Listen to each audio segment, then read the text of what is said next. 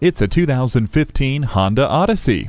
Hang on to your sippy cups. The high output iVTEC V6 engine produces remarkable horsepower and equally impressive torque.